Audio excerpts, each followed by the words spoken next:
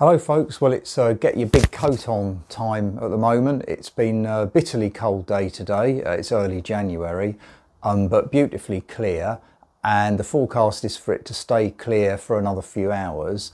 Temperature currently is around freezing, it's going to drop to um, probably minus two or three while I'm out and minus four or five uh, as a minimum overnight. So in most instances, that's about as cold as it gets here in the southeast of England. So it's going to be a bit of a chilly one, but I'm hoping that the uh, lack of clouds, the clarity of the atmosphere, and the fact there's no um, real moon around to bother me at the moment is going to mean I'm going to have quite a good session. The target I'm going to aim for tonight has uh, one of the cooler names of astronomical objects.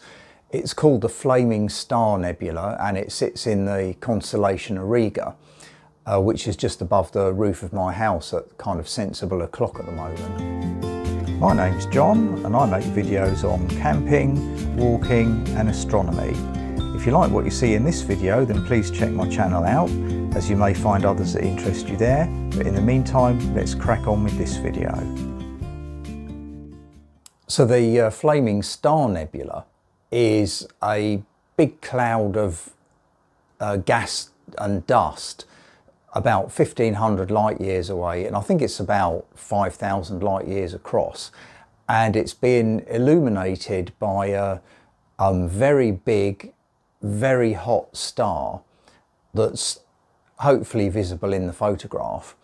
Um, this star is going to burn out very fast and, and then die but it's throwing out um, a lot of energy that's uh, energizing the hydrogen molecules in this gas cloud.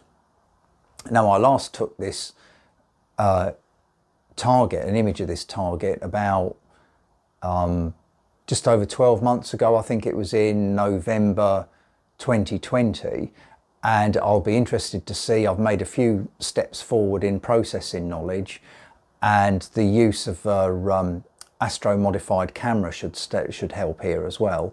So I'll be interested to see if I've made any progress.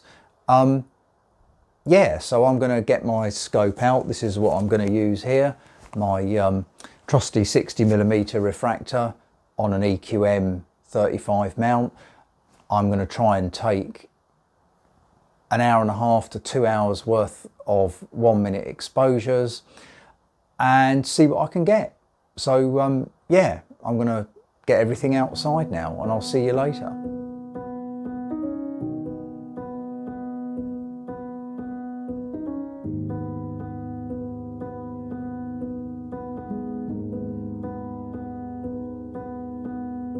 Saw you a picture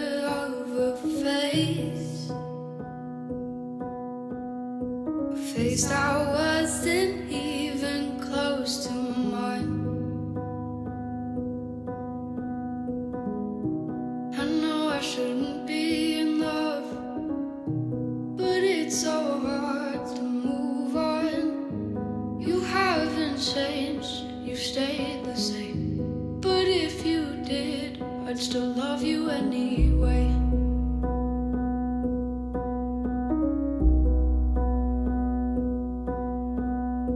I'd give you the world like I promised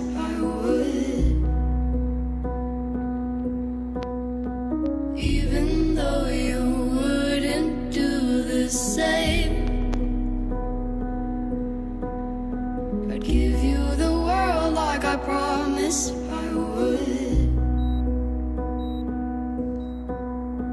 Even though you wouldn't do the same.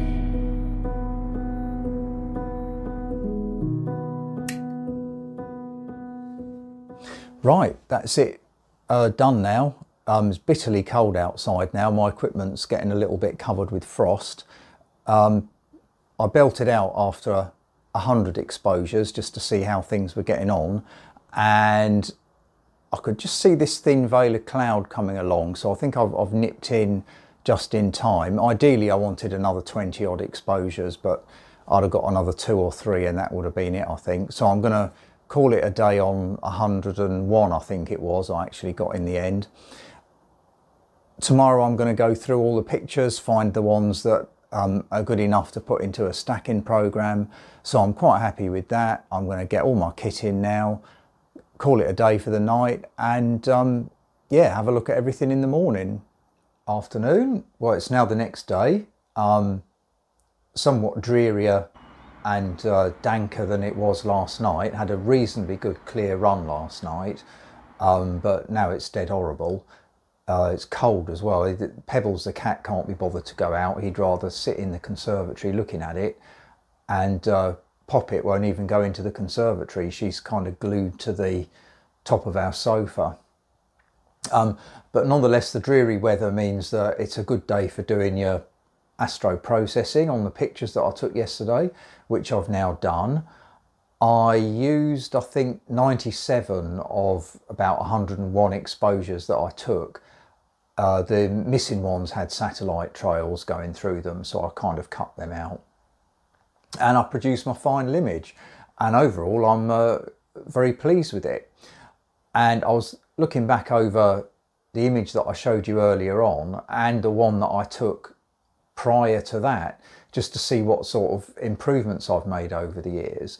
So the first time I tried this target was, I think, in 2018 and there I was taking uh, short exposures of 15 seconds or so and I only took about 20 minutes worth using an Altaz mount and produced a picture that did show the Flaming Star Nebula. You can just about kind of pick out the um, redness of the nebula, but mostly all you really saw was stars. But nonetheless, I was quite pleased with it at the time. And then I looked at again at the picture that I took in late 2020 where the nebula is much more visible. At this point I was using an equatorial mount and took an hour's worth of one minute exposures and the nebula is much more visible than it was say in 2018 but still the image is dominated really by the stars that, that are there. So since I took that picture in 2020, um, I'm using the same kit, the telescope and mount that you can see here. Um, the camera that I used in 2020, I'm still using except I've had, since had it astro modified to better pick up the um, red hydrogen gases that uh, make up this nebula basically. In addition to that, there's a few other tweaks. I use StarNet++ now to minimize the stars so they don't overwhelm my image and I've done some videos on how I do that um, if you want to have a look at some of those. The astro modification to the camera means that I shoot at ISO 800 typically now instead of ISO 1600 that I was before and this means that my images are less noisy. When I was out last night, the temperature was around minus two, which is um, fairly cold, which helps reduce the noise. Previously, I was out in a November evening, and I suspect the temperature then was probably more typical of like five, six degrees, something like that. So the using the lower ISO and a lower outside temperature gives you less noise in your image. And in addition, the final kind of improvement, I suppose, that I made was um, I took about an hour and a half's worth of exposures instead of an hour. Um, so I made a bunch of like minor modifications plus the Astro modification to my camera to um, generate this latest image, which I think is substantially better than the last image and um, yeah I hope you'll agree. Maybe you'd let me know in the comments. Um, it's worth bearing in mind that the Astro modification to a camera costs around a hundred pounds so it's a fairly cost effective way of generating much better pictures than you otherwise would do. And I have done a video on um, Astro modifying my camera just after I first did it to say whether it was worth it but I hope you'll agree that um, the image here at the end of this video shows that um, astro modification is definitely something that you um, ought to consider provided you're not trying to use that camera for like normal day-to-day use if you like because that that won't work out too well.